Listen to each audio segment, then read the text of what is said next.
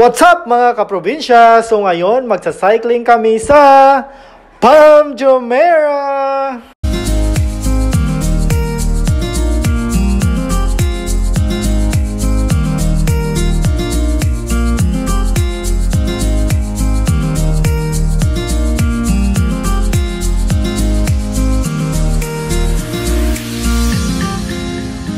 Pero ang sobrang gaan ni pedal, no? Ganda yun. Sa pataas kasi maliit eh. Ah. Kailangan umakyat. Ano ba? Ano yan? Dahon? dahon. So, Mahal talaga yung dahon. Ano? so na-try ko ang dahon na bike. Akala mo sobrang hirap i- ipedal pero sobrang smooth siya. Sobrang, sobrang bilis. So, maganda siya. Recommended.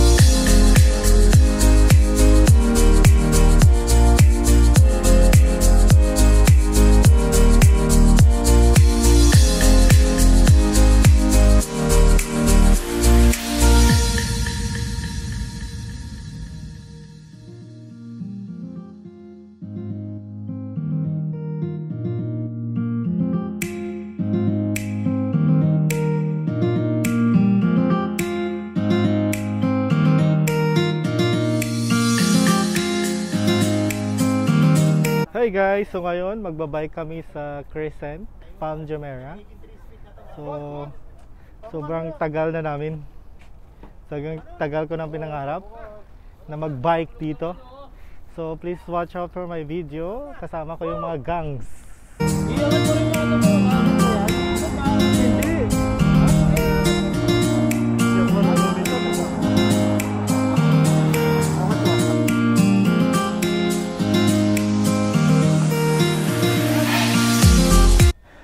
So guys, natapos na namin yung crescent. Galing sa kabila, papunta dito sa dulo is 11 kilometers. So ayan guys, nakakapagod, pawis na pawis ako. So i-try nyo. At sila ang aking mga kasama ngayon. So may YouTube channel na siya. Ito din si Marvin. Follow So- YouTube channel soon.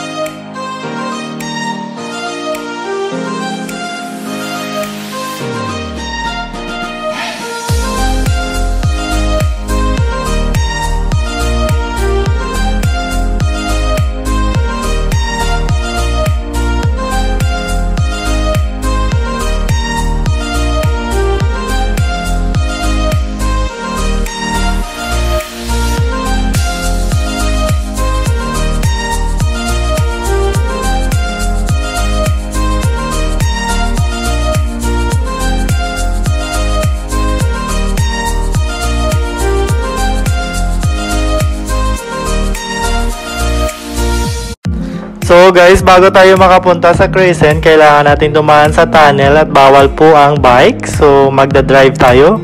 So hindi ako yung nag-drive ah. So shoutout pala kay Sir Mond sa pag-drive at pag-pick up sa akin sa bahay at pag-drop. And for your information, ito po ay nasa ilalim na ng dagat.